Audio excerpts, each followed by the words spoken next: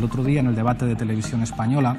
Irene Montero le pidió por favor a Cayetana Álvarez de Toledo que se disculpara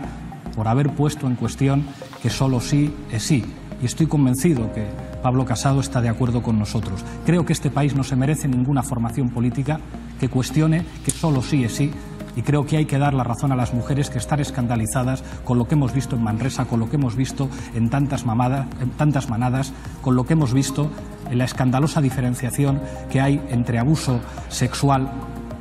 y violación.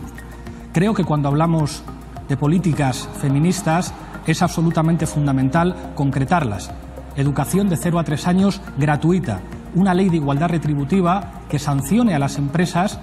que establezcan diferencias de más del 20% entre los salarios de los hombres y los salarios de las mujeres, una renta garantizada de 600 euros que nos permita elevar las pensiones mínimas y las pensiones no contributivas que afectan fundamentalmente a las mujeres, alternativa habitacional inmediata para las mujeres víctimas de violencia machista y lo que nosotros llamamos el plan de autonomía, un salario mínimo interprofesional de un mínimo de seis meses prorrogable cuando una mujer denuncie un caso de violencia machista.